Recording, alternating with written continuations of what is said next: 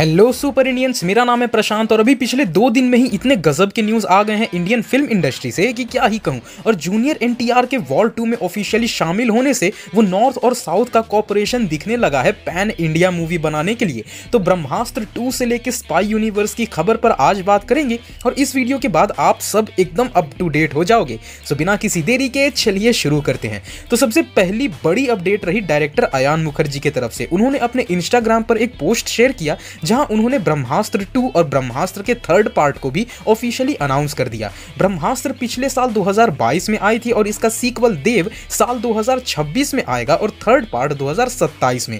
साथ ही अयान मुखर्जी ने यह भी बताया कि सेकेंड और थर्ड पार्ट दोनों की शूटिंग एक ही साथ की जाएगी। तो चार साल का अच्छा खासा गैप है तो भाई स्टोरी से एक्सपेक्टेशंस बनेंगी। साथ ही इस बार हमें यह भी देखना होगा कि आलिया भट्ट का कैरेक्टर आखिर है क्या? वो ब्रह्मास्त्र में इतना ज़्यादा दिलचस्पी क्यों दिखाती थी?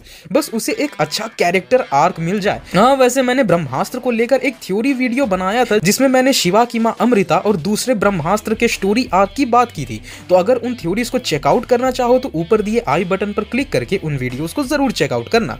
नेक्स्ट बड़ी अपडेट है यशराज फिल्म्स के स्पाई यूनिवर्स से। तो भाई, पठान के साथ रिकॉर्ड्स ब्रेक करने के बाद स्पाई यूनिवर्स रुकने का नाम नहीं ले रहा। तो वॉर के सीक्वल को अनाउंस कर दिया गया है और उसमें ऋतिक रोशन एज कबीर वापिस आने वाले हैं। बट अगली बड़ी खबर ठीक इसके एक दिन बाद आ गई कि वॉर के सीक्वल में ऋतिक के को स्टार जूनियर एनटीआर होने वाले हैं। अब ये खबर कुछ ऐसी है जो वॉर टू के हाइप को अभी से ज़िंदा कर दी है। जबकि अभी तक इनिशियल डेवलपमेंट के नाम पर बस यही है कि वॉर टू के डायरेक्टर भी अयान मुखर्जी ही होने वाले हैं। एंड जो नहीं जानते, उन्हें मैं बता दूँ कि वॉर टू टाइगर थ्री के बाद के इवेंट्स को दिखाएगी।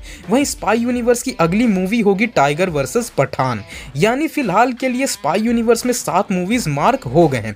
वहीं तीसरी अपडेट जो है, वो है आदि पुरुष से। और आदि पुरुष से उसका एक पोस्टर रिलीज़ किया गया है, जिसे आप सब अपने स्क्रीन पर देख सकते हो। एंड जिन जिन को ये पोस्टर पसंद नहीं आ रहा तो ये पोस्टर तुम्हारे स्क्रीन के लिए नहीं बनी। इस पोस्टर को जाके हॉल के आईमैक्स में देखो, गरीबों।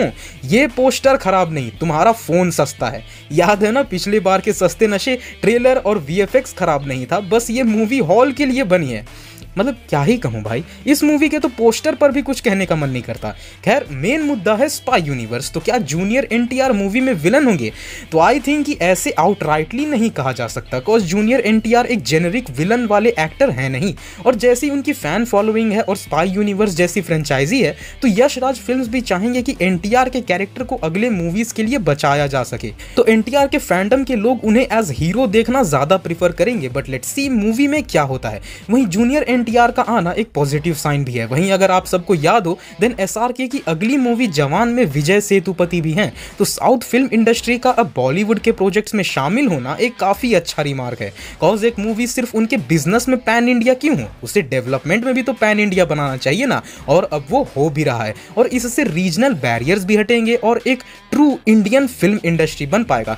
तो इन सब अपडेट से और इन सब न्यूज़ से अब तुम सब कितना हाइप अप हो कॉमेंट्स में बताओ गाइज़ और जूनियर एन के शामिल होने से तुम्हारे एक्सपेक्टेशन अब क्या रहेंगे मूवी से वो भी बताना। और ऐसे ही वीडियोज़ के लिए subscribe to super India P